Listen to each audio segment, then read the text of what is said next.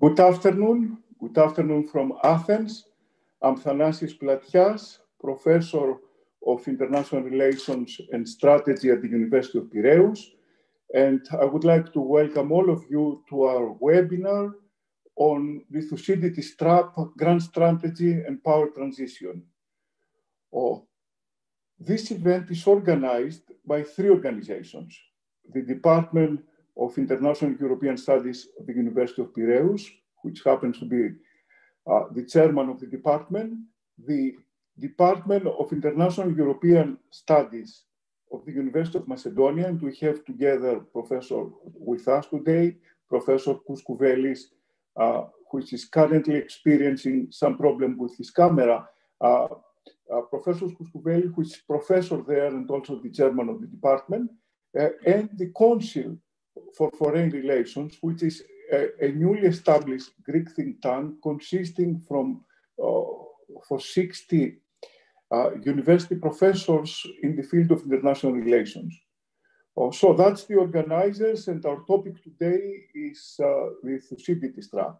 We are delighted to have with us uh, three experts, three world-leading experts on Thucydides. Uh, first of all, Professor Andrew Novo. Professor Novo uh, is teaching at the National Defense University in Washington and also at the prestigious school of the uh, George Washington University, the School of uh, Foreign, uh, Foreign Service. Uh, he got his BA in history uh, from Princeton University and his master's and uh, PhD from the University of, of Oxford. He is historian, but uh, he's also an expert in military history, in international security and strategy and international politics. And another expertise is he's uh, probably one of the foremost American experts on Eastern Med- Mediterranean. Uh, he has written uh, last year a book on Thucydides uh, with uh, Jay Parker. the title of the book is Restoring Thucydides, Testing Familiar Lessons and deriving new ones. So I have asked him in uh, his presentation uh, to, uh, to summarize his book. Uh, then, uh, what is really interesting about Professor Novo is that this year uh, published a book which I have not yet read, but the title is really exciting. The EOKA caused nationalism and the failure of the Cypriot Enosis. I hope this book will do as well as the Thucydides book. And uh, it, it, shows that uh, Professor Andrew Novo uh, is not only an expert in history and Thucydides, but also an expert uh, in, a, in, our, in our area. Uh, our second speaker today uh, will be Professor Kouskouvelis, Professor of International Relations in the University of Macedonia, and as I said, Chairman of the Department of International and European Studies. He got uh, a law degree from the University of Thessaloniki. Uh, he, he, got his uh, master's degree from the University of Denver, Colorado, and his PhD from uh, Grenoble University in France. Uh, he's teaching international relations theory, strategy, negotiations and crisis management, European integration, and he's also an expert uh, in our region. On top of it, he holds the uh, uh Greek, uh, Hellenic Greek of Staff Chair on Thucydides uh, in the University of Macedonia. a couple of years ago, he published an extremely interesting book on Thucydides, uh, uh, titled Thucydides on Choice and Decision Making, Why War is Not Inevitable. I mean, the title of the book alone, uh, it clearly links him uh, to, to, our topic, which is Thucydides trap and the inevitability of war. And one of the issues that we will examine today is whether uh, US and China are destined for war. And our third scholar, uh, that will participate in the discussion uh, is Vasilis Trigkas. Vasilis uh, is a teaching, a postdoc teaching fellow at the prestigious Schwarzman College at Tsinghua University. Vasilis got his BA from the Economic University of Athens and his PhD from uh, the prestigious Department of uh, of International Politics at Tsinghua University. Uh, he has been visiting fellow at Columbia University, and he used to be Onassis Fellow at the Belt and Road Institute at Tsinghua University again. Uh, he has written extensively uh, in uh, top journals, including the Journal of Contemporary China, the Chinese Journal of International Politics, um, the Global Policy Journal, the Columbia uh, Journal of International Affairs, and many, many other journals. Uh, and uh, recently, he co-authored an article with me uh, unraveling the Thucydides trap that has been published by the Chinese Journal of uh, International Politics. So he will base at least his, international, his introductory remarks in, uh, based on this article. Now, we invited two Chinese scholars, Professor Chen and Professor Li, which are really the foremost experts on Thucydides in China. We were unlucky uh, that Professor Chen had an emergency medical problem in his family. So he has to be in a hospital today and not uh, uh, with us. We wish uh, to his family all the best. With regard to, to Professor Li, which is part of the Chinese Academy of Social Sciences, which is a, a government think tank, uh, although she enthusiastically accepted our invitation, uh, her bosses uh, revoked the permission to talk, so he will not be with us today. Probably the Chinese um, leaders of the Chinese Academy of Social Science uh, saw the trap, Thucydides trap, and they thought that uh, this will be a, the trap for the Chinese scholar. Anyhow, it's, it's not a trap for the scholar, it may be a trap for China, as Allison said. Uh, being trapped in a competitive relation with the United States, but this is precisely what we're going to, uh, to examine today. The inspiration uh, for, for this talk comes from a recent book from, from Professor Allison, a former teacher of mine at Harvard University, uh, that wrote uh, a, kind of provocative book, Destined for War, uh, that really uh, brought in the attention of the Thucydides trap. Uh, it's not the first time that Thucydides becomes very relevant and very topical and uh, the center of, of, discussion. As a matter of fact, himself knew that this will happen when he said that his work will be Ktima Esai, will live forever. And he said that in the opening, uh, pay, uh, in the opening paragraphs of his uh, history of the Peloponnesian War. So in fact, his work uh, lives with us today. It's still relevant. And not only today, because of the Allison book on the Thucydides trap, but if you look uh, back in the history, you will see a different period. Uh, Thucydides was central in the discussion. Let's say in the 17th century, uh, the Athenian Empire uh, and the way that Thucydides presented it became a model for the British Empire.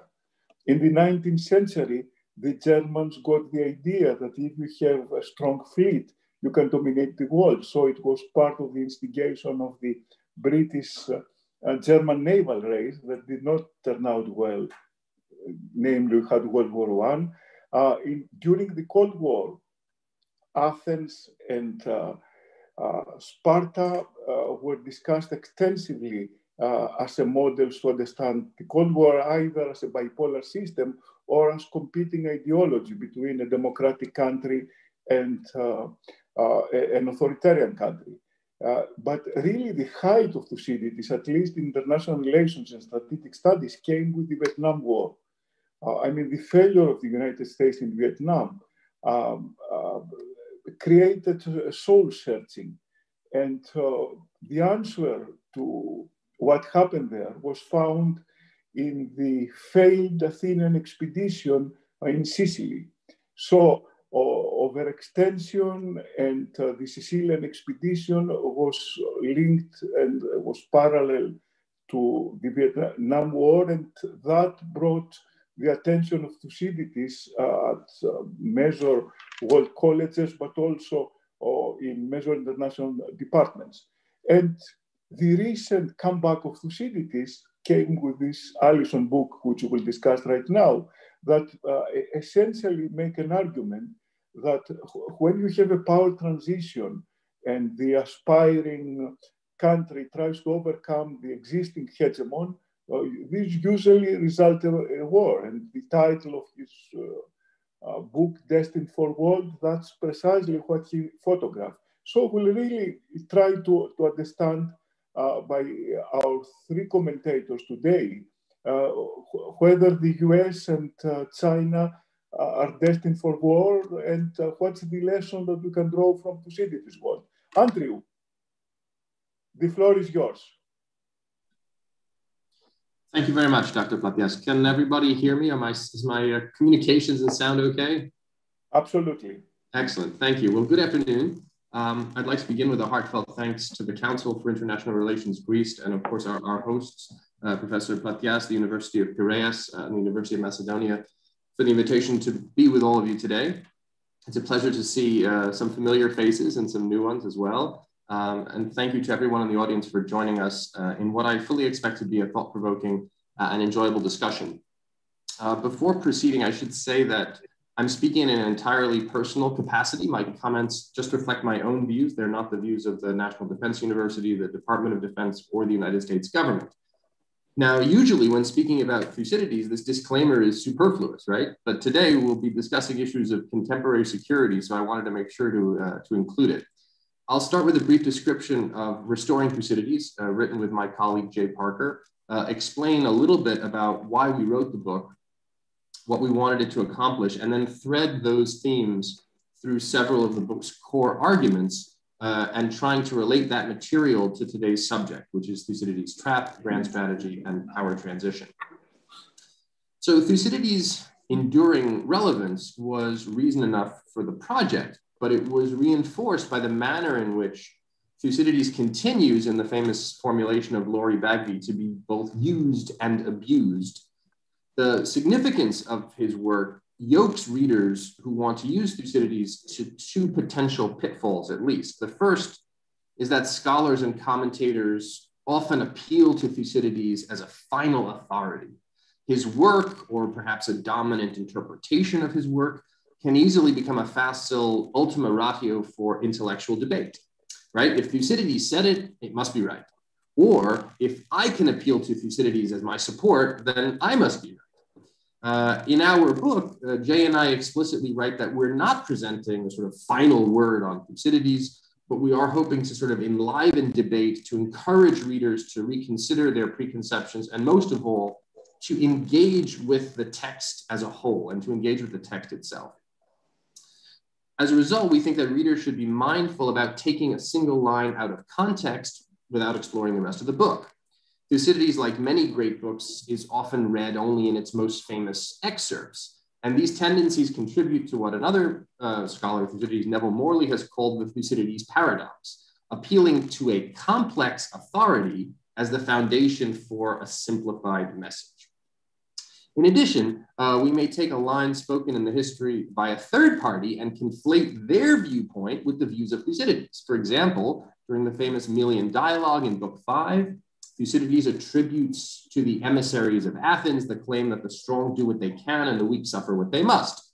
Those emissaries speak for Athens, but do they speak for Thucydides? Is Thucydides arguing in favor of a political approach based on power? Or does he use this episode as a warning against the blind use of, of power? This is a debate worth having. So, in the book, we explore several key lessons, looking at them through three lenses textual fidelity, textual context, and historical context. First, we ask whether Thucydides wrote what is ascribed to him.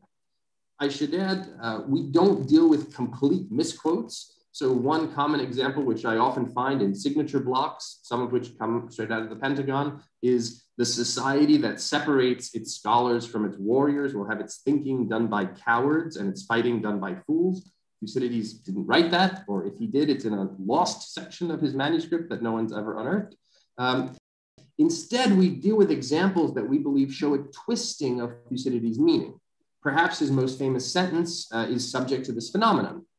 Describing the outbreak of war in Book One, according to the famous Rex Warner translation from 1972, what made war inevitable was the growth of Athenian power and the fear this caused in Sparta. This sentence forms the basis of hegemonic transition theory in many ways, arguments about fundamental instabilities within a bipolar international system, and most recently, the rebottling of these concepts into Thucydides' trap. But this interpretation has its shortcomings. First, there's the simple question of translation. As our colleague and fellow panelist, uh, Dr. Kouskouvelis, has persuasively argued, Thucydides' entire work strives against a concept of inevitability. Inevitability is incompatible with how Thucydides approaches human affairs. It negates human choice and human agency. Instead, debate, argument, and changing opinion all feature prominently in Thucydides' history. Moreover, a more correct translation of the word anankasai, describes the Spartans as perhaps compelled to go to war or feeling that the war was necessary. There are problems with interpreting bipolarity as well. Here I know Professor Platias disagrees with me, but in the, in the book, we argue that Sparta and Athens did not constitute uh, a true bipolar system. Thucydides presents an argument in which Athens and Sparta led two coalitions, which is a first step away from simple bipolarity and his account reinforces the dependence of Athens on its empire and of Sparta on its allies.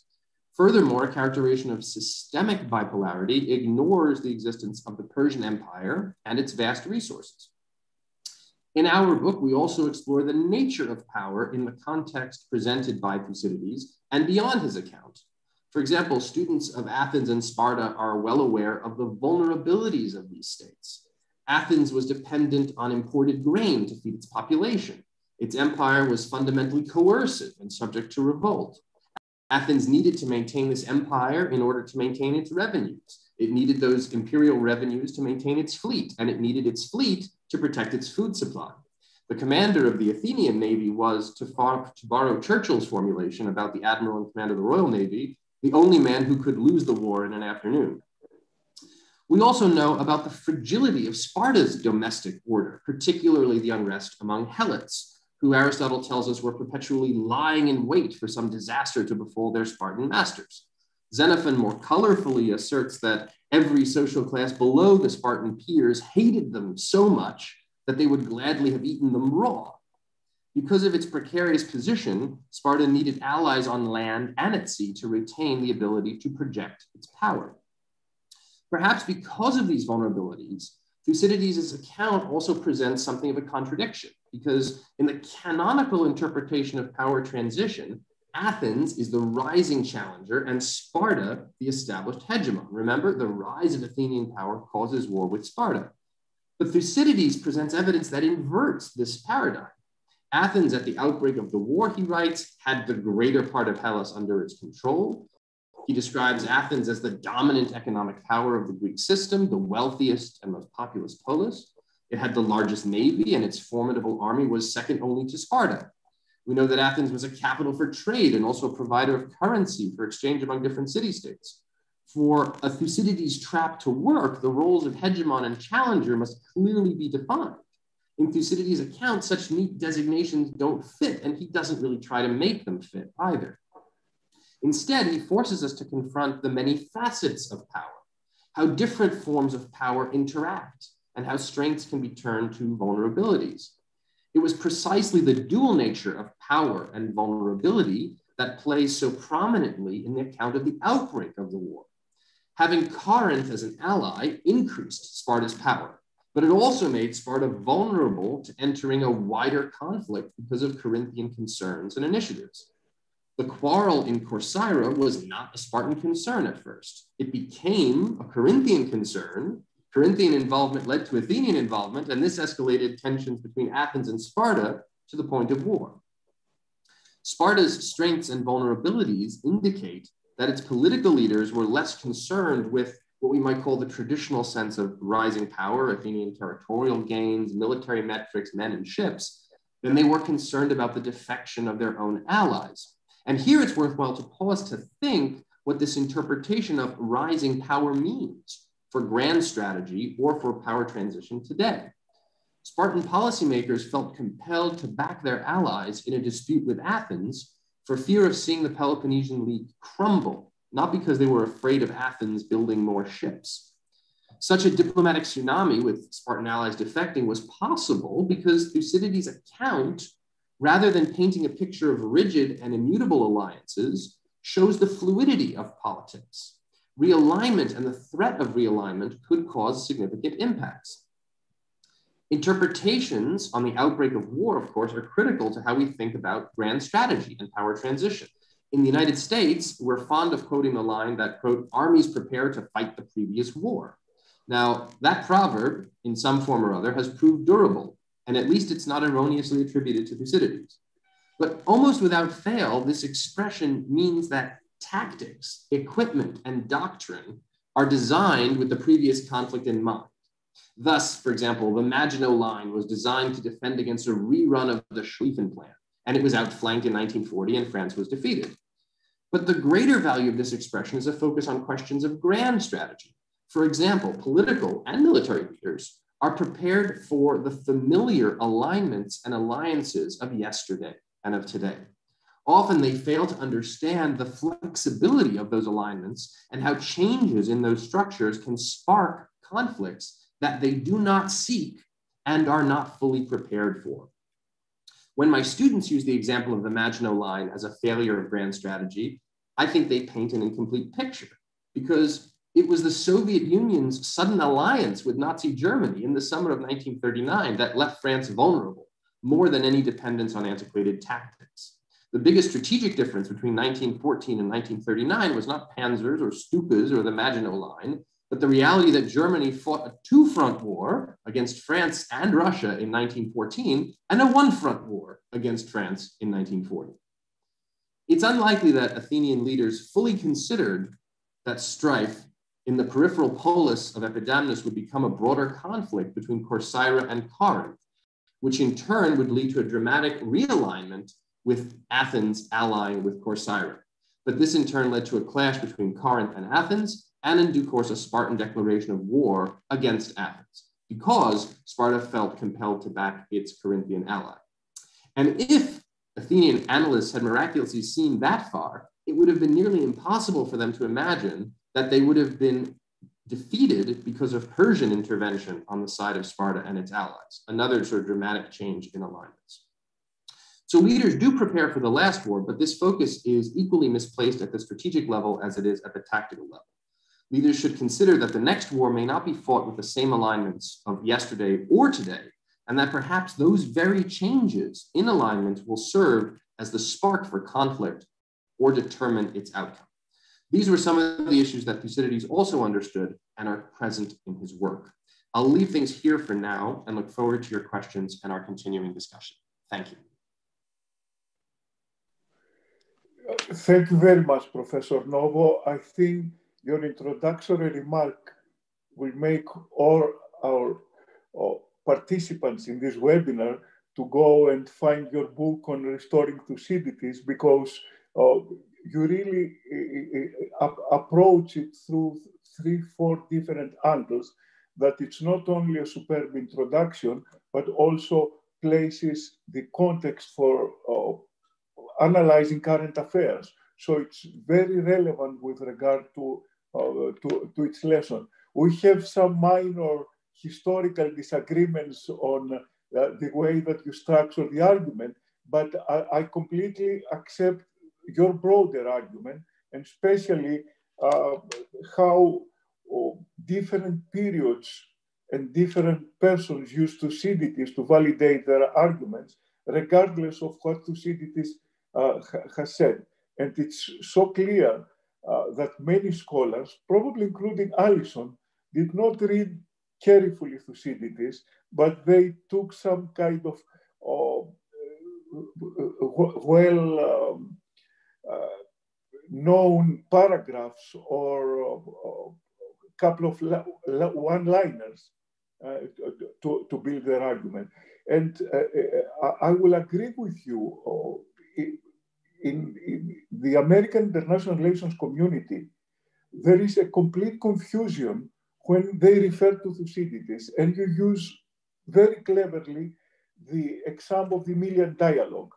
As you said correctly, it was the Athenians ambassadors that they say that they make that proposition that the strong will do what they can and the weak they will suffer what they must. Now, 99% of the American academics uh, attribute this phrase to Thucydides himself. But Thucydides himself talk in the editorial parts. Yeah, if you look at the uh, dialogues, you can have two competing views. Uh, one talks about black, the other talks, it's white. So you cannot attribute to Thucydides the same time and the black and the white. Thucydides talks in the editorial section in his own language. The other is what he's reporting. This is a frequent lesson, or this is a frequent problem, uh, and um, a lot of scholars uh, attribute that phrase you are discussing as the foundation of realism, and they attribute it to Thucydides when it's, it's not said by Thucydides. Uh, I just bring that uh, point for, uh, in our discussion. Let me now turn to another interesting book written by Professor Kouskouvelis. And uh, I will ask Elias to really try to reconstruct the Thucydides, uh, to deconstruct uh, the Thucydides trap. I mean, to explain to us why there is no such a thing as Thucydides trap. Elias. Thank you, Thanasi. Thank you for taking the initiative for this uh, meeting. And uh, thank I, I would like to thank also the other participants. Uh, it was an, op uh, an opportunity to meet again with uh, uh, Andrew Novo, whom I happened to meet here in Greece, and then he was he kindly accepted to to participate to come to Thessaloniki and participate uh, at the University of Macedonia and give a presentation there, uh, which we have uh, all enjoyed. And uh, then I uh, meet uh, Vasilis Dr. Trigkas here, and um, I'm happy um, I come to meet him. And since you two wrote this piece, uh, on Thucydides. Now, having said, having said that, I must add also that you, uh, Thanasi, uh, Professor Platias, have written a book on Thucydides. So uh, among the, it makes three of us here. And, and your book has been written much earlier than mine and that of, uh, of Andrew. So uh, I guess right now that we uh, met uh, four different people having studied and loving the work of Thucydides, we can come out with uh, with an interesting interesting topic. I must apologize for not having uh, for having just a sound because the connection is not is not so good. There are some problems, so uh, I will stick to my time. And please, I apologize again to the to those uh, participating and following the discussion, but I consider it necessary to participate even with with sound and uh, skip, unfortunately, uh, the image. Now, as you as you said, my uh, my book is on Thucydides' decision making and choice and choice. I believe that people have the choice in their lives, but as uh, but in international politics as well. The question is whether they understand the condition and whether uh, they have the opportunity or the possibility uh, or the possibility to to choose.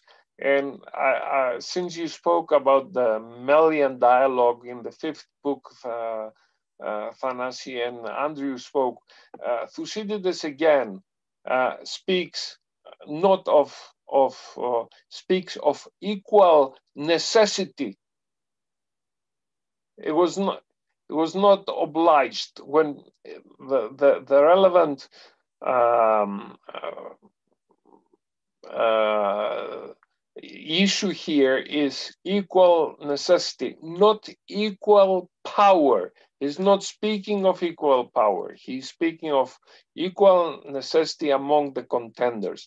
And that's that's a beginning to that's an introduction an introduction to to my main argument uh, in on the issue of the Thucydides trap that Thucydides never spoke of a trap, never spoke of inevitability. Uh, he spoke of, of necessity, right? So necessity uh, is a concept which is essential and central to Thucydides' writing and thinking. But uh, let me uh, take things from the beginning. In, in my book, I argue that Thucydides has a theory on decision making. Uh, basic elements are uh, necessity or human, uh, human agency, uh, human nature, plus uh, uh, fear, interest, and honor. Those three factors. It is necessity plus fear, interest, and honor, or human nature plus interest, fear, and honor. So this is his basic his basic theme. And if one looks into his entire uh, work, uh, may he may find, she may find this theme uh, coming again, repeating itself again and again and again. So in no way uh, we can connect uh, Thucydides to the inevitability of decision making or of choice. He's rather pro free choice, to put it that way, pro free choice. Now, why I'm I'm I'm saying that uh, the Thucydides trap is uh, is wrong, or as I wrote in one article few couple years ago, is a distorted compass. Now, a compass is a tool that distorted compass distorts, does not help us, leads us to different ways uh, and different understandings. So this is happening with the so-called uh, Thucydides trap. And I cannot resist uh, remembering um, another, another scholar, uh, Ned Lebow, who uh, used, who, who, who replaced uh, the T with a C. Uh, and he gave a different negative connotation to Thucydides trap, okay? I'm not repeating for, for obvious reasons. Okay, but let me say two two are the basic two are the basic problems in uh, uh, this model, this construction that that Allison made. The first is that he considers Athens to be the rising power. Now, I'm sorry, but uh, Athens already since uh, 478 uh, is, is the leading power. And in the middle of the fifth century, century, Athens has become the superpower, the leading power. So uh, having uh, presenting in, in his scheme, in Alice's scheme, uh, Athens has been the contender. Uh, I think he, this is historically wrong. Of course, Sparta is there. Sparta has its alliance, but Sparta has abandoned its ambition to lead the, the, Greeks. Uh, this is a task This is an endeavor undertaken by the Athenians, and the Athenians uh, took over and led to uh, led Athens to the empire. The empire is Athens. The empire is not Sparta. And since you, Professor uh, Platias, has spoken often of high strategy, uh, we can see in Thucydides and in Athens not one, but four stages or four different types of high strategy. The developing one under Themistocles, a political personality and strategist that you honor a lot here in, eh, at the University of Piraeus, should not forget our brother university or sister university, University of Piraeus. Now, Themistocles is the first one to put the foundations of a grand strategy. Then it is Cimon. Uh, Cimon, Simon. Cimon is consolidating the, the, the grand strategy and the, uh, the, the Athenian uh, primacy. Uh, the third is uh, Pericles. Of course, Pericles' grand strategy is one of splendor. It's not just a grand strategy in the military, not just a grand strategy in the economics area, but it is also a grand strategy in building, in, in, in creating those moments that we are happy to see even today.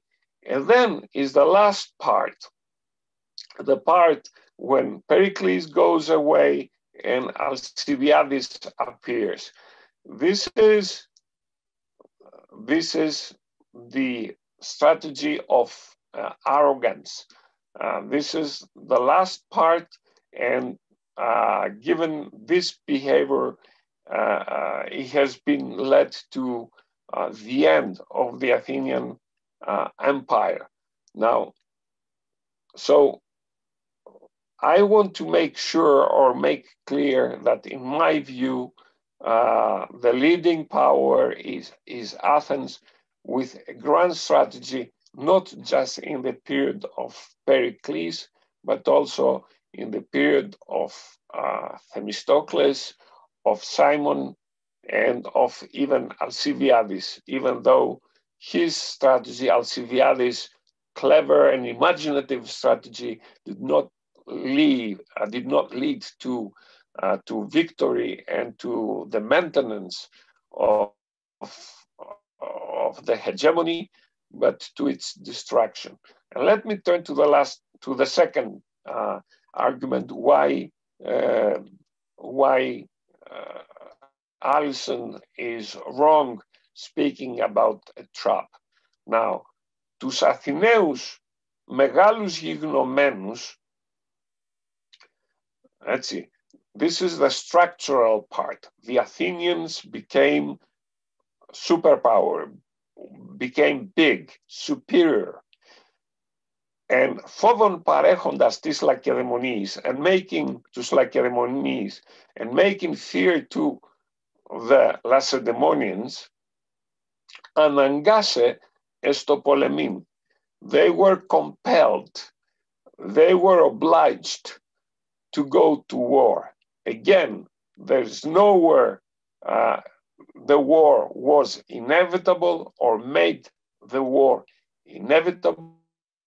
This is a phrase taken from an old English translation, made the war inevitable. So Thucydides never, nowhere says, uh, speaks of inevitability, speaks of ανάγκη, αναγκάσε στο πολεμή. Now, what made the Athenians and the Spartans αναγκάσε στο πολεμή?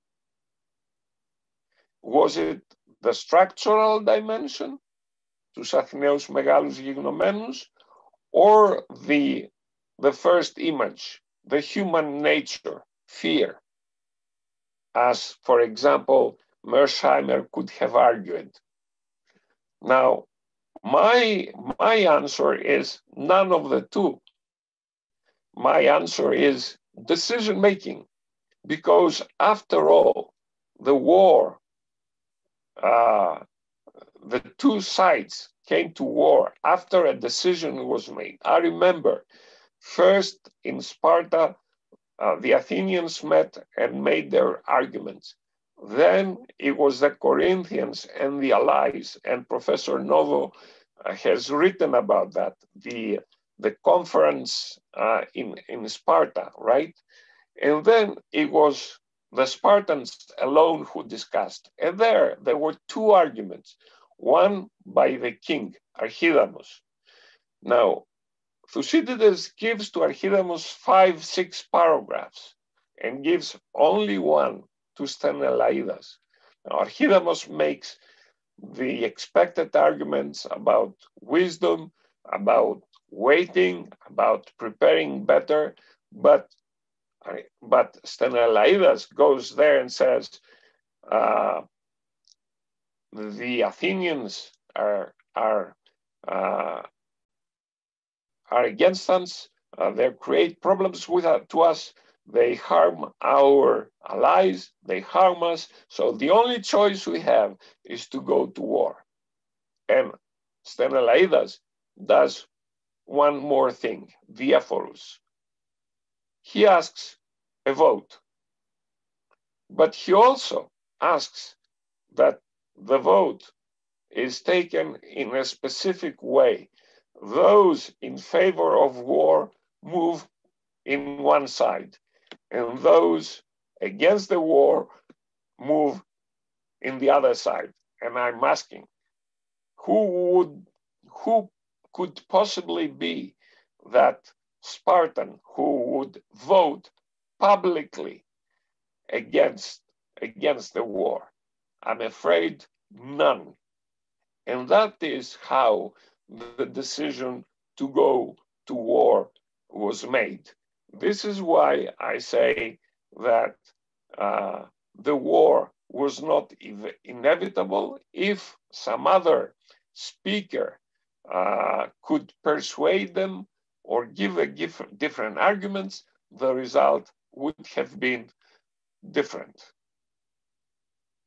And with this, uh, I conclude here my, my first presentation. Thank you for having the patience to, to listen to, to my presentation, my arguments. Ilias, thank you very much.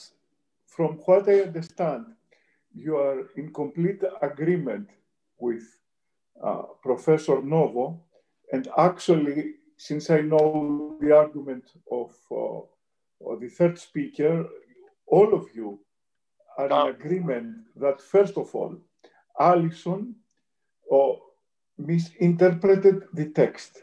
He, he read the vital paragraph wrong.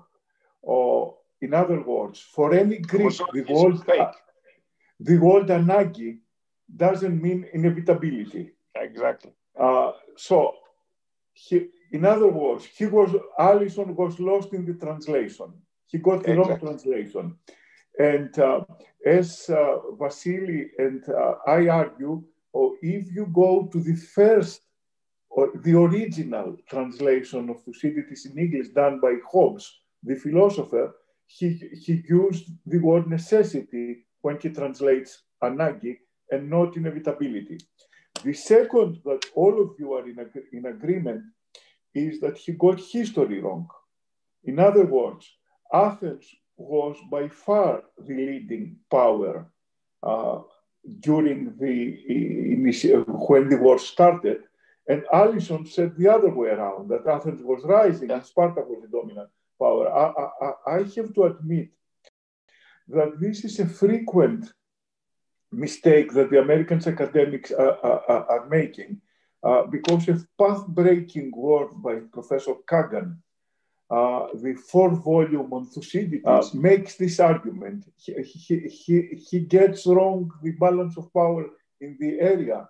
Uh, and uh, it, it's really funny Thucydides spends his whole Pentecontaetia, the 50-year period between the end of the Persian War and the initiation of the Peloponnesian War to explain the rise of Athens. And my American colleagues, instead of reading Thucydides and reading Pentecontaetia, these 50 years, they read Kagan's interpretation. And there is more or less a consensus that somehow Athens was the rising power and Sparta is the leading power. Of course, uh, Professor Novo uh, is an exception to that because he reads the ancient uh, uh text and uh, uh, he gave the, the correct interpretation. But most of the international relations specialists ac accept not the Thucydides interpretation, but, but Kagan's interpretation. so that's two very important points. Also, uh, I, I, if I understand correctly what you said, Leah, you put squarely the blame for the war on Sparta, which I love that. And it's the, the way that they decided. It, it, was the manipulation of the decision making by Sthenelaidas. That's an interesting argument. I also blame Sparta for the war, but uh, not for the decision making process. No, what he what he did was very clever. Yes. Uh, and, and you can you can connect this uh, argument with the, the habits of the Athenians, the culture of the Athenians, uh, something that uh, and the constructivists do concerning the, uh, the, the, the, culture and, and of, of the two cities. And it, was it was the culture of the Spartans. Uh, when it comes to, to decision making, but the causes uh, may, may, may, may, be deeper. Now, let me turn to Vasily.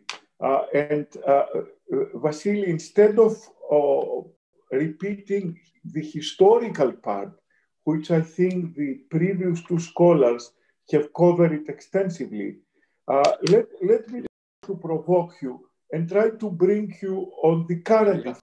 Uh, you, let me try to defend a, a little Allison here. Uh, Va Vasilis, let me try to use the concept of security dilemma. What Thucydides said, after the end of the Persian Wars, there was always fear that the Persians will get involved in the Greek affairs again. So the Athenians had to take the lead to defend Greek, especially in the Aegean and Asia Minor, from Persia. And in order to do that, they became stronger. And by becoming stronger, this created a security dilemma for the other major Greek city, state, Sparta. And this led to a dynamic which caused the war. So there is, I, I mean, even if we try to deconstruct completely Allison or Thucydides, there is a structural argument there. I mean, there are changes in the balance of power. And I try to, to bring it uh, to the current affairs. Uh, there is a structural argument. yes, but we try. Uh, uh, uh but let, let, let me try to uh, to get the question. so on the structural argument, let's try now to see how it applies to to current US-Chinese relations before I turn the floor to Vasilis.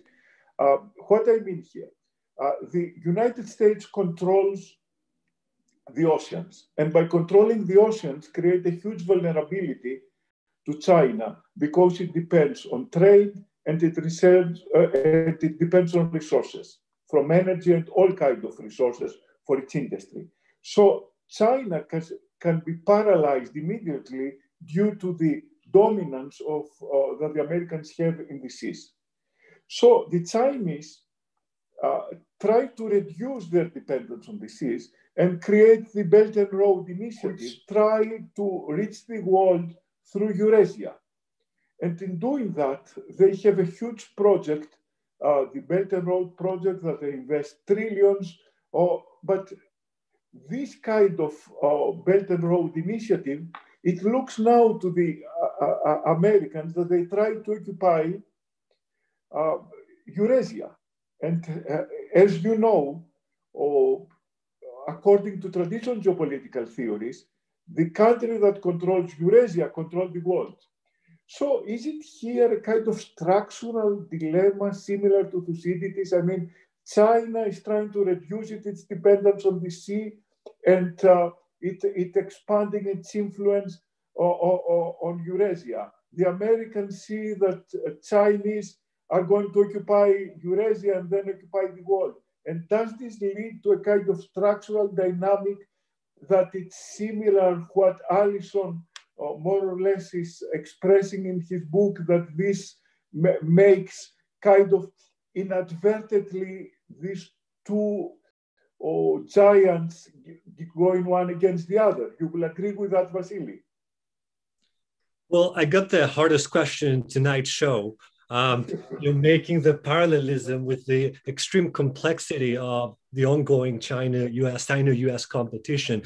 But before going there, let me you know, thank you for the invitation. I'm very privileged to be here uh, with Andrea Novo, a young yet although yet already established, well-established strategic intellectual in the U.S. Academy, and of course, Professor Kouskouvelis, uh, a veteran of strategic studies in Greece. Um, now, before addressing your question, let me just share some, some, some the, the history of how Thucydides, the authentic Thucydides, made it to Beijing. And that was uh, March, I believe, or April 2019, when Thanasis Platias came for a research visit at uh, Tsinghua University. And you have to remember that in those years, a couple of years before that, the geopolitical zeitgeist had drastically changed. The United States had issued two crucial reports the US National Security Strategy Report and the US National Defense Report. And in both reports, China was featured as a clear and present danger for the United States.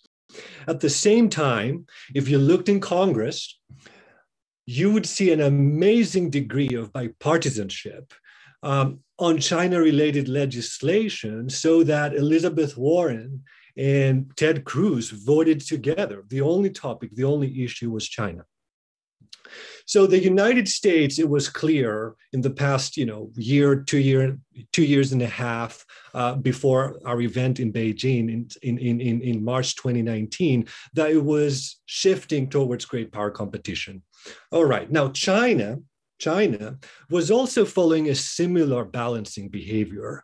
It was fascinating that in, I believe, um, March 2017, the Chinese President Xi Jinping declared that there is a Chinese model uh, of development uh, which means there is Chinese wisdom of how on how uh, other countries can accelerate their growth, whereas at the same time retain their national independence and sovereignty. And that is an inflection point for Chinese grand strategy because it abandons the hide hider strength and bide time strategy of Deng Xiaoping, and it makes China a much more proactive uh, uh, strategic player in the global arena. So again, this backdrop of intensifying securitization and great power competition, Thanasis is in Beijing. And we reached out to a Chinese uh, friends. I saw this as a deus ex machina opportunity.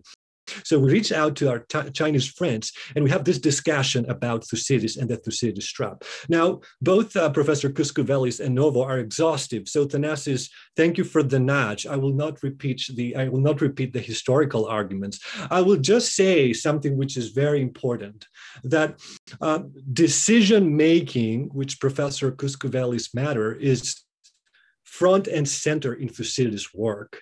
And here is a misaccuracy that you can see at Allison. So basically, Allison argues that the Athenian decision to go to war was kind of based on the rational exuberance of the Athenian public. So the people, the demos, led Pericles, that's in Allison's work, led Pericles to war. But it's exactly the other way around in Thucydides. You know, Pericles was the first citizen, and Athens was a democracy only, only in name. So when the crucial discussion came about the revocation of the Megarian decree, Pericles made a clear argument for war. And he based that argument on his own theory of victory, which was a theory of victory based on a prolonged war of attrition, which the Spartans could not fight because they didn't have a navy right? And the, on the other hand, uh, the Spartans had their own theory of victory, which was a battle of annihilation. They wanted to march to Athens and fight a decisive battle, but obviously we saw that that was, um, um, you know, that, that, that was not a right strategy for the Spartans. They couldn't win the war. and those concepts, that typology of strategy, is very well uh, analyzed in Professor Platias' book, Thucydides on Strategy. All right, bringing that to the present, we have those Thucydidean, Thucydidean types of strategy, a battle of annihilation, Spartan perspective, and a prolonged, protracted competition, attrition, the Athenian perspective. What can we learn about China and the US? Well, in our paper, Unraveling the Thucydides Trap, Inadvertent Escalation or War of Choice, we stress the necessity to study Thucydides ex antiquis and novissimis optima the best of the old, the best of the new. What does this mean? Obviously, we believe that perhaps 90% of the strategic first principles are in there in the history of the Peloponnesian War. But there is perhaps a 10% of strategic uh, first principles that they're not there. And the big elephant in the room is the invention of nuclear weapons. So obviously Thucydides couldn't talk about nuclear weapons because simply the technology was not there. And the, the existence of nuclear weapons means clearly that a strategy of annihilation, a strategy of decisive battle is out of the question. It's imperceivable that any country, either the United States or China, will fight and win. Like we'll have a theory of victory, which is based on fighting and winning a nuclear war. Now, somebody might say, but the U.S. has an extended deterrence, counter counter strike, first um, uh, first strike, nuclear doctrine. Fine, we can debate about it. But we believe that Robert Jervis' argument on the impact of the nuclear revolution on great power politics has been conclusive and decisive as a result that question. So basically, we have a simple strategy that both China and the United States going to pursue in the years ahead. In JFK's words, a long, prolonged twilight struggle. Twilight great power struggle. Now, what does this mean actually? It means that uh, uh, strategic decisions may, there, it's not an automated strategy, right? It's a prolonged competition. So strategic decisions will be essential in shaping that strategy.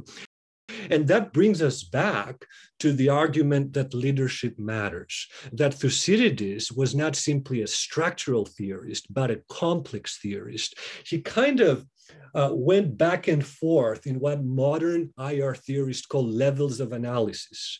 The structure is there, and it's very important. And Thucydides was the first historian to clearly highlight how structure shapes and narrows strategic decisions, shapes and shows perhaps uh, the uh, strategies of states.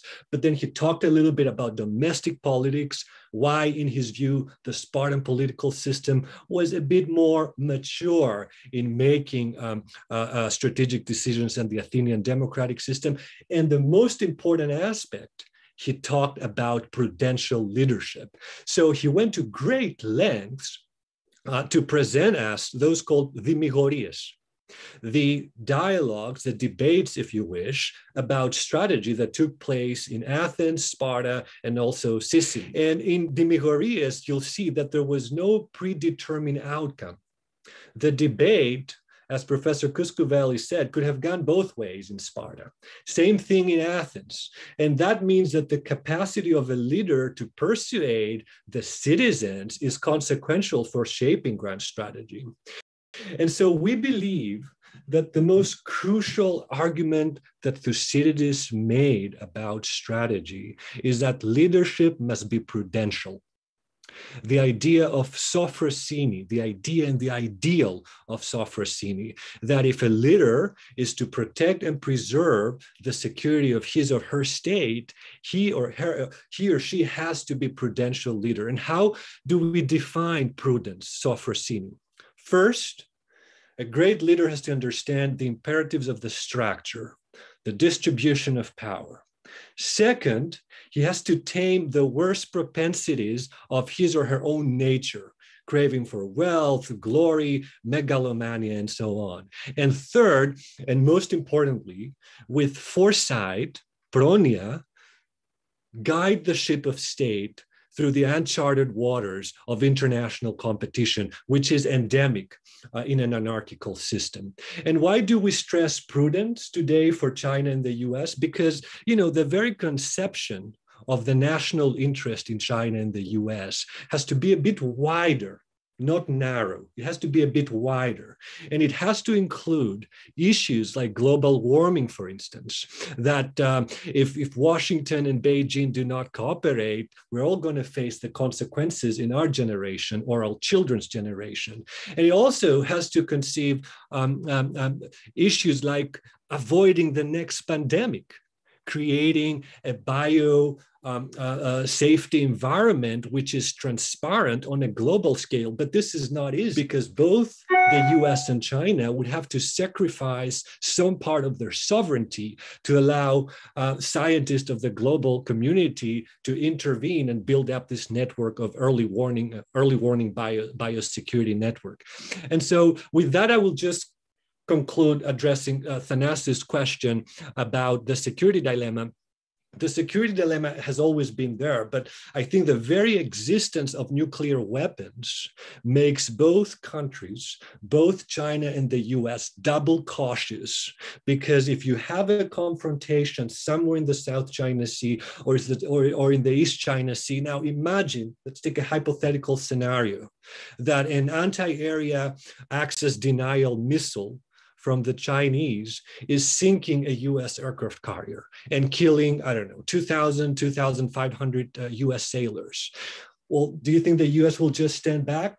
The US is going to escalate. So you're going to have this escalation, perhaps inadvertently, but because of nuclear weapons, both sides do not want to reach that level. So there will be double cautious. And I think history here can second that argument because if you see what happened in the Cold War, we talked about two superpowers um, competing in a prolonged struggle for 50 years almost, uh, but there was not a single direct military conflict between the Soviet Union and the United States. So, yes, the security dilemma is here, but it has been kind of alleviated substantially by the very existence of nuclear weapon.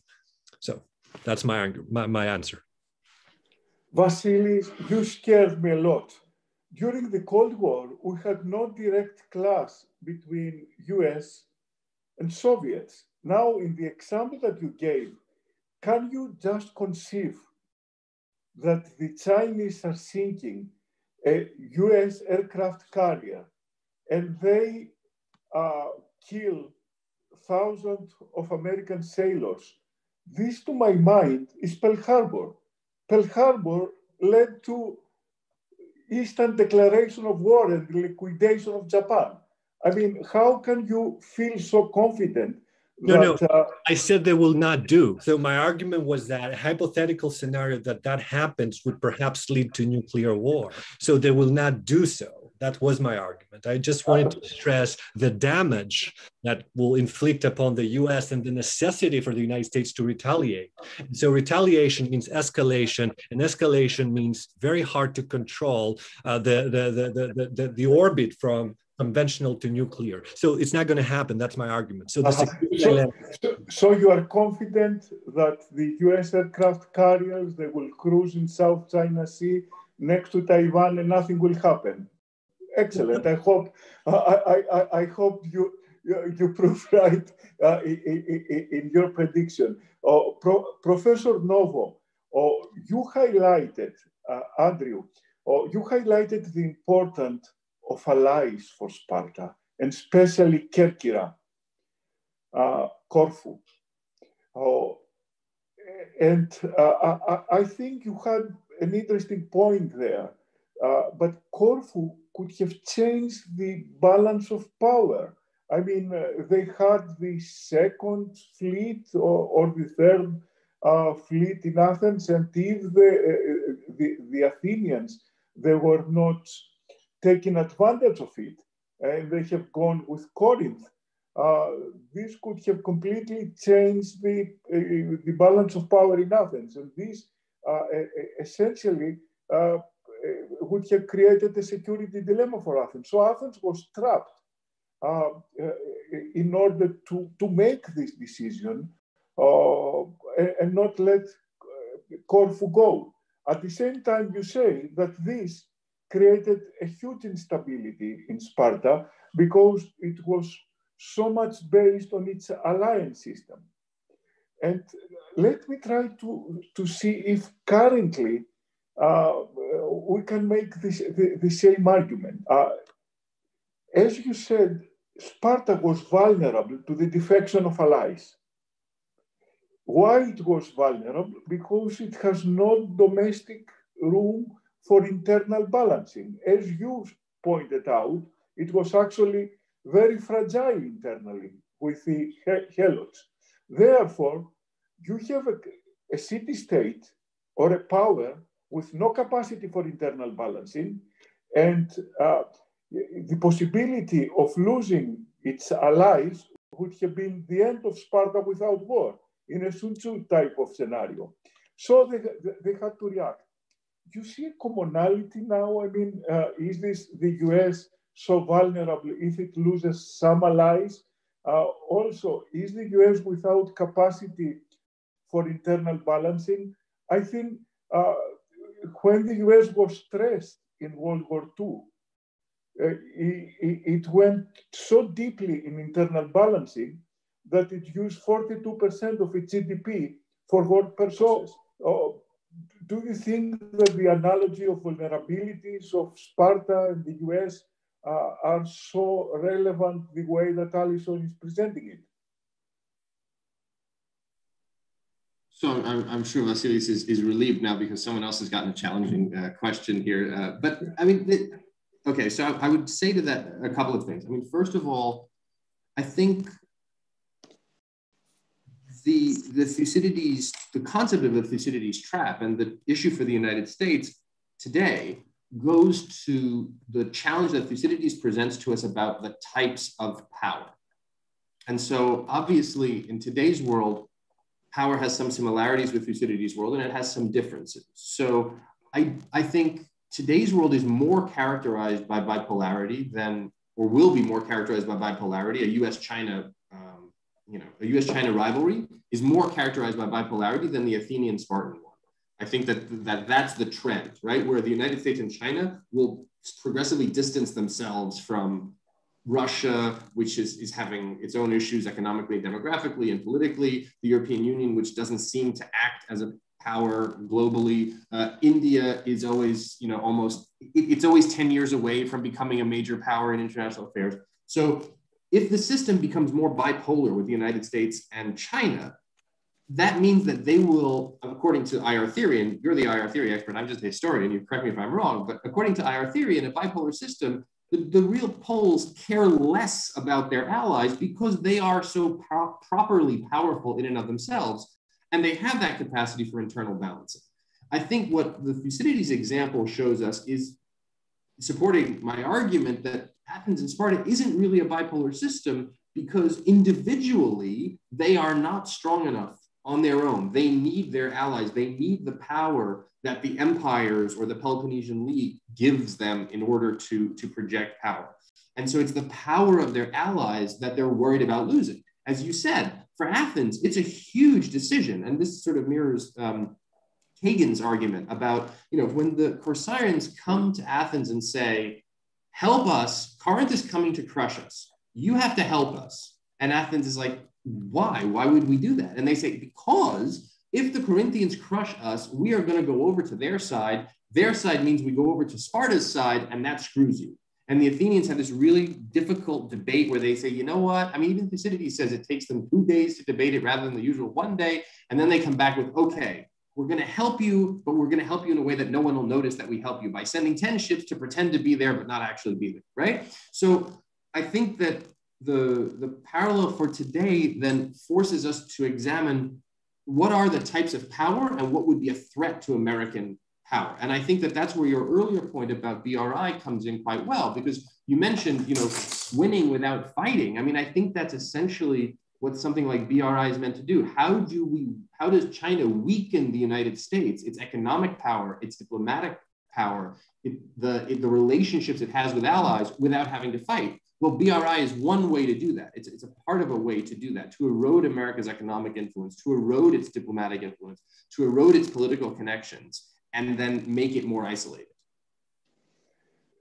And that's a very interesting point, Andrew. Now, if you reverse side and you are you see the issue from Washington, is it a winning strategy without fighting? Uh, let me uh, you suggested that China is thinking about winning without fighting through oh, the Belt and Road Initiative. Uh, let me try to give you a tip. You suggested before uh, that one of the vulnerabilities of the Spartans were its helots. So, uh, and the Athenians exploited that, right? You think that the US can exploit similar internal vulnerabilities in China? Of course, but exploiting vulnerabilities involves a kind of escalation, right? Which I don't know, I mean, which, which will have to happen in a, in a sort of sequential way. You know, the United States uh, exploited the Soviet vulnerability when the Soviets went into Afghanistan, right? I don't think the United States is going to uh, just out of the blue start arming Uyghurs or fomenting rebellion in Western China, right? It, it's not going to, it's not going to declare that it recognizes a separatist state in Tibet. It's not going to just declare that it supports independence for Hong Kong, uh, because this would be an escalation. Uh, and, and this, I think, is one of the key lessons that we can really look at in Thucydides' account and try to apply it to the United States and China's relationship today is what are those key escalations and how policymakers try to walk this very delicate balance between saying, don't mess with me, I'm serious, but I don't want to go to war. And so, you know, you see that in the Athenian decision to send 10 ships to Corcyra and then to add another 20. You see that in the approach to the Megarian decree. You see that in the Spartan attempt to tell the Athenians, you know, retract the Megarian decree, stop the siege of Potidaea, give away part of your, your Delian League, your Athenian empire. There, there are these sort of graded steps because neither side wants to plunge immediately headlong into war. And I think there are, to- there are enormous vulnerabilities that China has. Uh, but any steps that the United States takes to exploit those, I mean, we could we could delist all Chinese uh, companies from the New York Stock Exchange. We could prevent Chinese companies from borrowing money in Washington and London. Uh, we could block export of, of, of foodstuffs to China, right?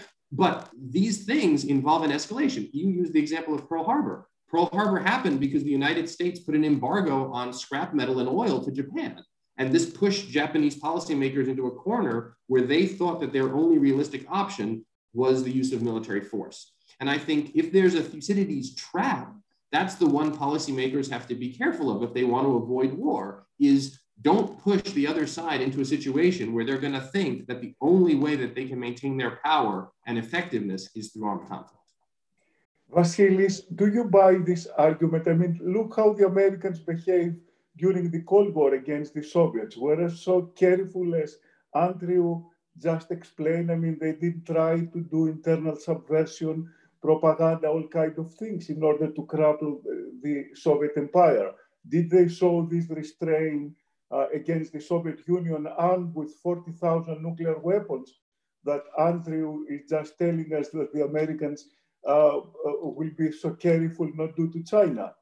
Well, you know, if I if I may yes, yes, and contribute something to to to Vasilis because I Vasilis said something very very uh, to the much the point. Well, Andrew said many others, but right now uh, he he uh, the existence of nuclear weapons that, that's very that's very important And since we were speaking about inevitability, I must and contribute that to the discussion, not to the discussion, then Vasilis may, may, may comment, is that in 1952, 1953, uh, when there was a change of power, uh, Stalin left and then Malenkov took over for two years, uh, one and a half year, etc. The discussion was whether war was in the, the, the conflict between the two blocks was inevitable or not. And it was then that uh, Khrushchev, uh, Khrushchev in 1953, if I'm not wrong, said that the, the war between the two blocks may be, uh, may be avoided.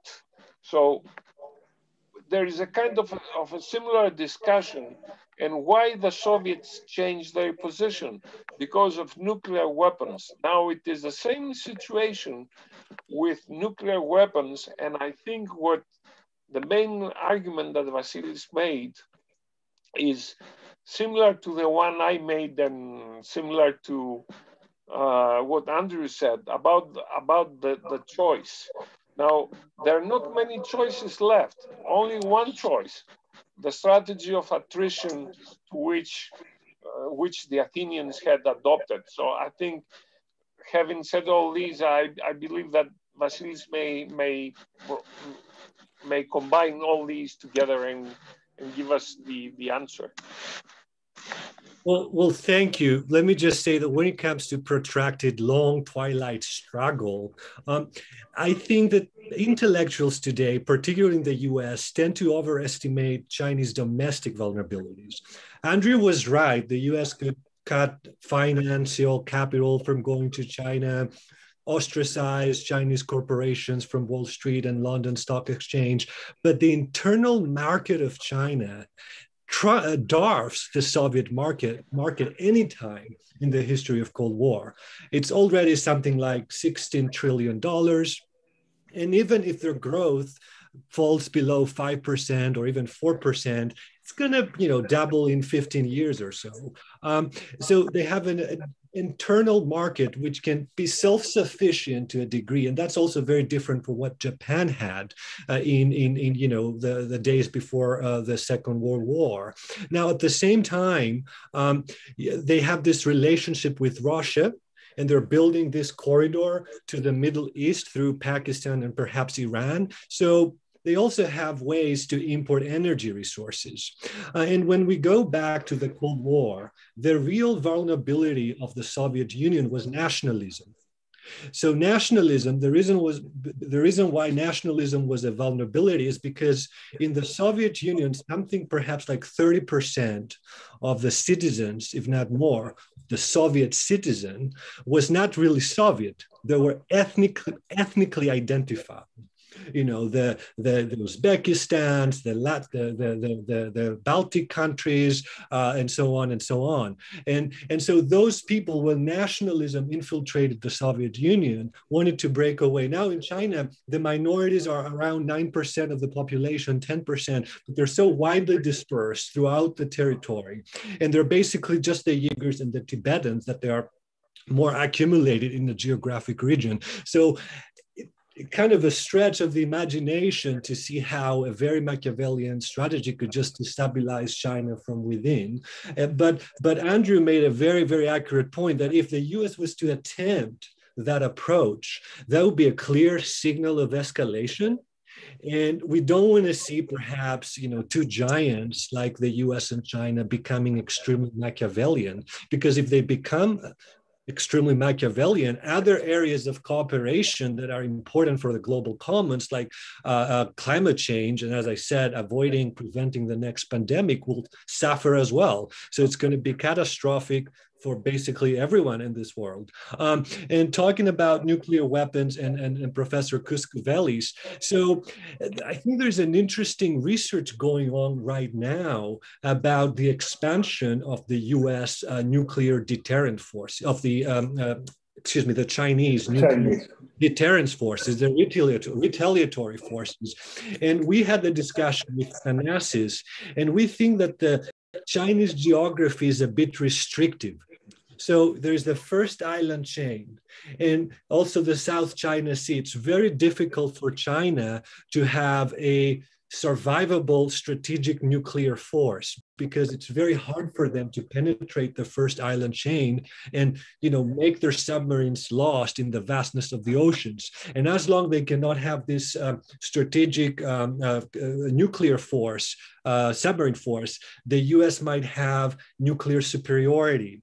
If the us has nuclear superiority that that might make the us a, a bit more risk prone to the South China Sea or to the East China Sea. So it's a big question here if China is going to respond by a extreme quantitative expansion of, their, of, of its nuclear arsenal. And this is a big debate right now in China.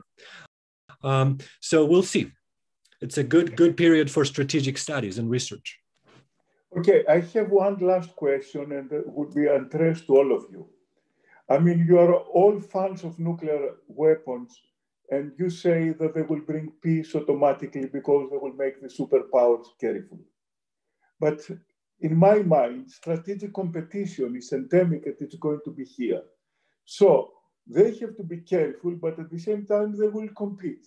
How they will compete? I mean, they will compete economically, uh, they will compete technologically, they will compete in propaganda, ideologically, uh, on uh, destroying reputation of what uh, another. Uh, they will uh, try to work through subversion with denial. There will be cyber warfare. I cannot, as a realist, I cannot foresee that the competition will stop because of nuclear weapons. So maybe a traditional war is not in the cards, but all kind of other instruments are in the cards. So how this will play, and, and again, uh, how they will, these great powers, that will keep the balance that this will not escalate. I mean, the, the inadvertent escalation argument is not completely dead. That's why, what I'm trying to say, given the fact that competition will be taking place elsewhere. And, and I highlighted three or four or five areas that competition will take place. So, uh, uh, Ilia, let me start uh, with you, and then I will go to Vasily, and I will give the last word to, to Andrew. Uh, well, my, thank you, Thanas. My, my easy answer is that all the above, uh, all that you mentioned, uh, they are in play. I must say, though, that we should see uh, the, the, the, the, nuclear power differential. That means that uh, the United States still maintains uh, these level of powers of these level of nuclear weapons that allow the United States to adopt different types of strategies. And uh, perhaps it is the case of the possibility of having um, counter force strategies against strategic forces of, of China, and then have a possibility of a second or a third strike. Uh, but uh, given the, the, the, the, capacity of destruction that nuclear weapons entail, is more probable that we have the various types of competition as you those that you that you mentioned uh, uh, in, in and including including um, uh, hi, hybrid uh, hybrid war strategies and propaganda, uh, which already the Chinese are using, especially uh, in combination with their uh, commercial uh, promotion strategies. So we, we may see all of them. Now, the, the question is, who is going to, to endure this kind of attrition that the one and the other side uh, is going to, or they are already applying to each other. who is going to endure such a war, such competition of, of attrition? That's, that's the main, uh, the key question, I would say. Uh, Ilya, this is a brilliant point. I mean, there are two systems are competing, uh, like the Cold War, and uh, one proved more resilient than the other. The other pro- proved very fragile, and it was self-destroyed without having uh, a, a, war. So the, precisely what you said is one possible scenario or, uh, about the future, which is really a, a marathon competition a competition that may take a hundred years. Yeah, uh, over over time. It's it's a competition over time now. Given uh, the uh, presence of nuclear weapons and those restrictions that nuclear weapons may may entail. So the key strategic concept here is resilience. Yes. Vasily, what's your take? Yeah, okay. Let me say, I think Thucydides would, would respond to that question that Professor Kouskouvelis posed by saying the most prudential leader, the most prudent leader, the most sovereign leader would win the competition, all right? But let me make it a bit more specified here. I think you're, you're both right. Competition is going to be comprehensive. It's going to be economic, it's going to be technological, it's going to be ideological, uh, it's going to be uh, perhaps in the gray zone, and so on and so on. But from all those areas, I would focus on technology simply because technology forms the understructure for the economy. And if you have a solid material foundation, you can spend both in welfare and therefore solidify your domestic societal uh, strength and in warfare that means building assets to you know have a theory of victory and making your military stre- uh, uh, uh, strength much higher. Having said that, I believe that technology in today's world is more software than hardware. And software, obviously, it's big data and AI. So, in all strategic fora right now in China and the US, AI, the impact of artificial intelligence in the material foundation, on the material foundation of the nations is fundamental. And what we know, that's very nascent technology. It's a very nascent technology. We don't quite know how it will evolve, if it will evolve, and if it's going to be a disruption 10 years from now, 20 years from now, five years from now. But what we do know is that AI technology is based on three things computational power, um, uh, uh, the, the, the human talent, the engineers, the software engineers you have, and quantity of data. And so if you take those through the three factors and you think of the US and China, the US right now has a computational advantage, but China is very close. Uh, although, you know, because of the microchips capabilities and because of Taiwan and all the allies coming close to the US, that advantage is going to remain for the next five to 10 years. The US has a bit of a talent advantage because it can attract not just American computer engineers, but global talent. 7 billion people. The US has this amazing H 1B visa, which is a secret weapon. So they attract the best and smart, smartest engineers, including Chinese. But China has an advantage on the third variable, which is quantity of data. And because they have this enormous netizen population, closed and separated, segmented by the great firewall, that data advantage is important. So it's, it's, it's very interesting to see how this technology competition is going to evolve, to evolve down the road. But you know, let me just conclude by stressing my original point, the Thucydidean argument that sophrosyne and prudential leader, leadership will be consequential for winning that competition, for a theory of victory. Vasily, you set yourself for a really hard question. I mean, which of the two competing great powers has an advantage of Sophrosyne? Uh, uh, and I come to Thucydides in explaining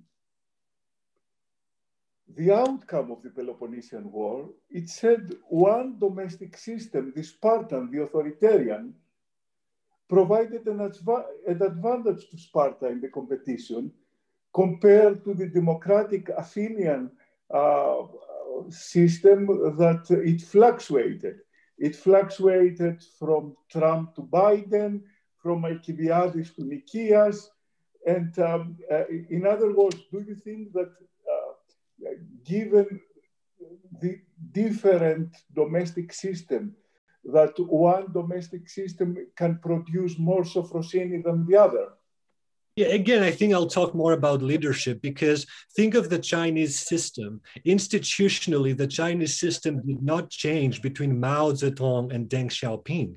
It was the leader that changed. So the institutions were actually the same, but it was Deng Xiaoping that kind of paved a new strategic direction for China and turned China from an impoverished agricultural society to a technological industrial behemoth. And at the same time, look the United States. Like the United States are performing very differently under Trump and under Joe Biden. So, well, institutions are important, but I find it very difficult in a political science perspective um, to kind of theorize and model the strategic prudence that simply the institutional dimension, the polity factor can predict. There is this strong democratic theory. Um, I think there's a professor at Georgetown, um, uh, Matthew Kroenig, who wrote a book, Autocracy versus Democracy, and so on and so on. But I think there's so much complexity on the polity factor. This ma- makes it very hard to theorize. So I'll stick with my original argument that leadership is the most consequential variable on sound prudential strategy. Okay, Andrew, well, you have the last word. Who, who, which okay. system produced the most prudential, prudential leaders? Yours well, or the Chinese? well, I mean, this is this is uh, it's an interesting question. I mean, on your last on your last point, I mean, Thucydides, as you said, he blames he blames the infighting and the instability of the Athenian system uh, for the defeat of Athens. I mean, he says that that this is what really brought Athens down was the and I mean, he, he lived through a time where there were several coups, uh, several changes in political system, not just in government, you know, that you get one party or the other, one faction or the other, but actually changes in the, in the Athenian government. Um, so that, that is a kind of vulnerability. I mean, I think the more rigid the system, as indeed the Chinese system is quite rigid, um, the more rigid the system, the more brittle it becomes. And so it doesn't bend. It either, it either stays or it breaks uh, and and the the American system bends and changes, and sometimes it changes to the right, and sometimes it changes to the left, and sometimes it changes to the uh, isolationist, and sometimes it changes to the engagement. But it but it the capacity to bend is a, is an advantage um, as opposed to the brittleness that that might break. Um, just a couple of other points that that came up that that didn't get uh, made since a lot of good ones were made. Um, one that was made is this competition across all domains, of course, is going to happen. It's even in the sort of it, it's in the bingo that we play in the Pentagon. Any any Pentagon meeting is going to talk. You put in your bingo card. If you put the term "all instruments of national power," you're guaranteed to check that, right? So the idea that there are all instruments of national power, economic, political, social, as you said, propaganda, technology, that's going to be part of this competition. I think what's going to define whether it becomes violent or not. And that's really the question that, you know, we, we in criticizing the concept of a Thucydides trap, I think one of the things we forget is that it, it's telling us something useful, but it's not going far enough. The useful thing it's telling us is yes, there are reasons to be concerned when you have changes in the distribution of power in a system, because that's going to make states worried about their security. And this is going to lead to hostility and competition and potentially war. Where the formulation of Allison's Thucydides trap is less useful is he doesn't go the next step and tell us, well, what so what exactly is it that we are afraid of? What is the United States afraid of from China? Is it afraid of China becoming rich? Is it afraid of China building aircraft carriers? Is it afraid of China pulling away US allies? Like, you know, the Philippines is going to repudiate their alliance with the United States, their 70 year alliance with the United States, and become an ally of China? We don't know. And that's what we need to explore. And that's where Thucydides can be helpful to try to get us to think about what are those things that we would be afraid of. Uh, because, as I said, changes in the balance of power do make states feel weaker or more vulnerable, and that can lead to problems. I think the other question that we, we didn't talk about, which is an important one, is to think of well, what are the concessions that the two sides, the United States and China, are willing to make in order to avoid going down a more conflictual relationship? And the United States and the Soviet Union, when they clashed, clashed because they were not on the same page about their concessions, right? The Soviet Union said, oh yeah, sure, we can put missiles in Cuba. And the United States said, no, that's not, that's not something we can accept, right? You wanna, you wanna put down a revolution in Hungary? Fine. You wanna put down a revolution in Czechoslovakia? Fine. We're not gonna do anything. You want to put missiles in Cuba, we have a problem. And I think that what the United States and China are going to struggle with going forward is kind of defining those parameters of the relationship, right? What are the things that you can do that we're going to be unhappy about, but we can't do much about? And what are those things that if you do, we're going to retaliate in some way and you're not going to like the retaliation? And that then creates a dangerous, going back to your original point about that creates a very dangerous escalation dynamic, which, which, which, would, which would be my primary worry. Well, it took Yalta to divide areas and make the rules uh, of the road and coexist uh, at the same time competing. Uh, so let's, uh, uh, which was good for the great powers, but not necessarily for the smaller states that they found themselves in uh, the zones of influence of one great power or, or, or another. Greece, of course, was the lucky one because uh, was in the right side of history, but a lot of other countries in Central and Eastern Europe were not so lucky. Uh, anyhow, that was a fascinating uh, discussion uh, that uh, really spanned 25 centuries. We started of what was happening by the end of uh, the Persian Wars, and we come on the 21st century of what may happen between uh, the, the, US and China. Uh, I, I, think uh, all of you, you highlighted different important theoretical and policy-oriented aspects, and I'm really grateful for uh, really facilitating uh, such a great discussion. I hope, Andrew, will see you in Piraeus, not only in, uh, when you come to Athens, you shouldn't go only to Thessaloniki, and we should philosophize next to the great port that produced the first maritime empire, which and is next to the university. Uh, so, thank you uh, to all of you, and uh, we will continue our discussion. Thank you very much, Ilya. And it was a prudent, a prudent discussion to refer to Vasilis, and uh, a discussion which did not abuse, because Andrew mentioned the use and abuse of Thucydides by Bagby, and that is a very important way to approach Thucydides without abusing. We did not abuse of him, and we, we were very careful. And Thanasi, you, thank you for, for leading the discussion. And could I, could I just say that I hope next time we'd have the Chinese scholars with us and make it like the debate a little bit more fervent. Well, let's hope. You, you see, you have to blame for that last moment, I changed the title from Thucydides no. Stra Strategy and Grand Power to Thucydides Trap. So when the Chinese saw the word trap, they say, haha, they're setting a trap here.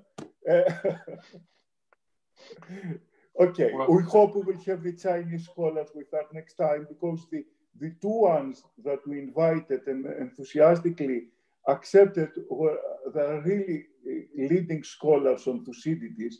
And uh, it could have been uh, a, a, huge addition to our debate if we had their views. So once again, thank you very much. Thank Take you, Hannes. Thank you. Bye-bye. Thank you so much.